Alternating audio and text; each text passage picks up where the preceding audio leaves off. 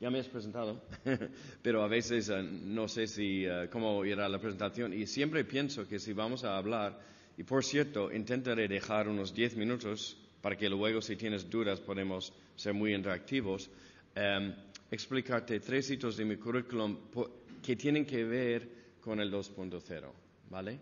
Porque uh, el mundo 2.0 es abrir la caja maravillosa o la caja de Pandora, según tu punto de vista, a los usuarios para que se inicie esta gran conversación y todo el mundo puede meter mano y opinar y, e involucrarse, ¿no? Y eso te va a exigir quizá nuevos talentos que tienes, pero no eres consciente, o partes de tu experiencia que tienen que ver con la comunicación y la, la idea de compartir. ¿Y por qué digo eso? Pues um, simplemente decirte, como decía antes, que salí de Seattle, en Estados Unidos, en uh, el 83 en la universidad, me incorporé en Microsoft en el 86 um, y tuve la gran suerte de formar parte de una historia especial en, en Microsoft. En el 89 cayó el muro de Berlín, uh, yo estaba estudiando ruso por las noches en la, la Universidad de Extensión en Seattle. Un día mi jefa decía, ¿qué quieres hacer en cinco años? Le había dicho trabajar y, y y vivir en Europa. Ah, por cierto, estoy aprendiendo ruso. Right time, right place, right person. Todo venía juntos y de repente me encontré en un avión rumbo Múnich, cuyo skyline ves aquí, para uh, desarrollar los primeros uh, productos de, Microsoft en ruso, uh, DOS y Works. Y aquí, pues, en el centro estamos presentando con Bill Gates estos primeros um, productos en ruso. ¿Por qué sobresalto o ¿por qué elevo eh, este hito? No es por mí, no es por mi ego, sino ni por el nombre de Bill Gates, siempre fascina, pero esa experiencia me, ha, enseñado un tema, un punto clave en este mundo audiovisual de 2.0, que es el escuchar, observar, realmente ser más humilde, porque un yankee llegando a Moscú, que aún era la Unión Soviética, la semana en la que yo llegué, toda la ciudad con transparentes rojos, ¿no? El primero de mayo en una semana y luego cuando salí con el proyecto era la Federación Rusa, pero antes la Unión Soviética. Todo eso exigía trabajar con los soviéticos, luego rusos, y realmente escucharles para desarrollar la primera campaña de publicidad de Microsoft en ruso. Entonces, después de esto, pues ah, al salir de Múnich en el 94, llegué a Barcelona, me enamoré de Barcelona y en Barcelona y fundé la, agencia y ahí estoy. Entonces, eso eh, solamente para darte una idea de con quién demonios estoy hablando, ¿no? Pues soy yo. No soy la Marta Sánchez, pero soy yo. Entonces, empecemos con la materia, porque la materia prima aquí es el nuevo consumidor o la nueva consumidora. Entonces, miremos tres versiones de esta persona en su evolución.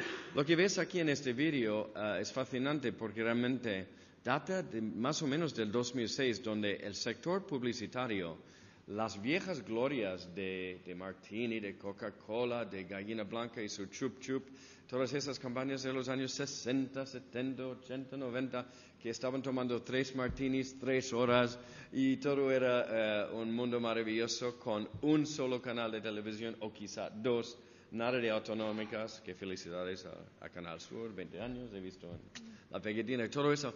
No, no hemos tenido los líos ni los retos que tenemos. Entonces el anunciante durante esas décadas se ha puesto súper cómodo.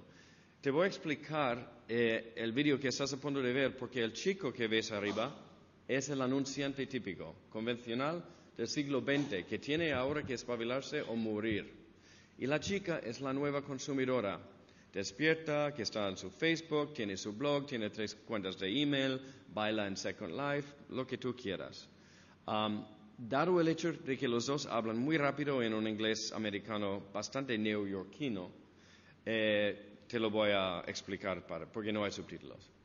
El anunciante cita a la nueva consumidora en un restaurante porque nota que algo no va bien en la relación y quiere conquistarla de nuevo, ¿no?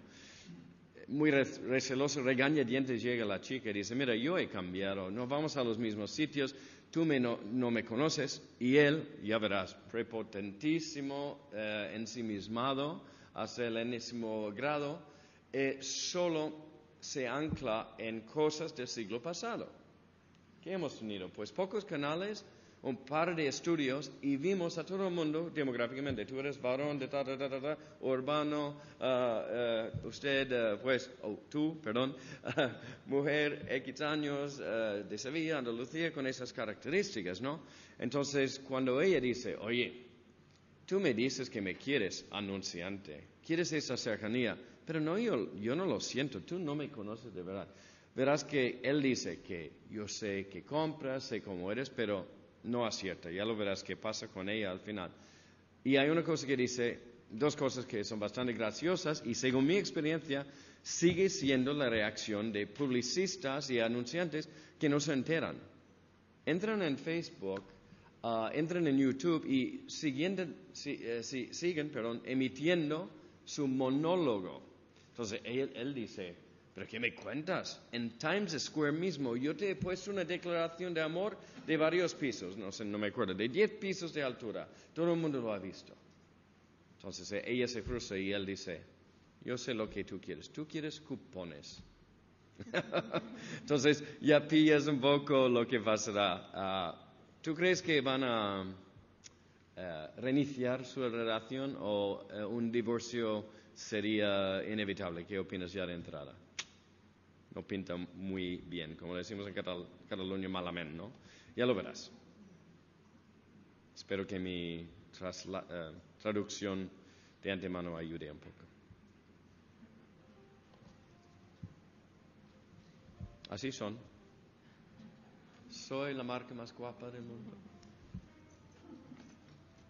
Hey there. Long time no see. Looking good. Yeah. Let's just keep this. Podemos simple. subir el volumen un I want a divorce. What now? I think you heard me just fine. Come on. This is me. What's wrong? We don't talk anymore. I just put down a mill on a TV commercial just to talk to you. Exactly. You do all the talking. I never get a chance. Talk on our website, can't you? Sure. If I want to say order this product, See?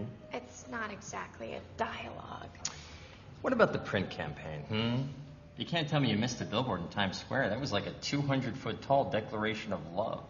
You're saying you love me, but you're not behaving like you love me. It's not genuine. I don't know. The agency said I was genuinely being funny, genuinely being charming.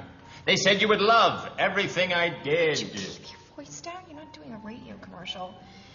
Look, whether you're funny or not, it's just I've changed, and you haven't.